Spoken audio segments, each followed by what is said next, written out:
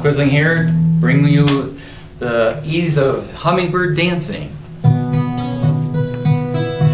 So the hummingbird has probably the largest muscles in the shoulder breast area of any bird in the world. So as a result, as we become weaker in this area, we want to bring out the fact this is an exercise that they do all the time. We want to follow that and learn how to get our shoulders to move a little better. So the shoulder muscles, there's four of them located in here, and they connect with the neck. And they basically, when you're playing, what you want to get is put your arms out to the side like this, and then basically move your shoulder, uh, move your arms forward about 10 degrees. And once you get them in that position, just rotate your hands up and down like this. Now, of course, we're going to use a little click to do it, so we kind of time it, so we work it with it.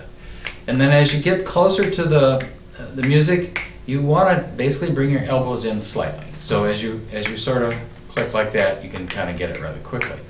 Your legs are basically um, on your toes, so you basically are kind of bouncing a little bit. So when you're kind of playing uh, with your feet, it's just sort of a bounce like that. Music goes very fast. This is the fastest song that we can find on record for um, this type of music.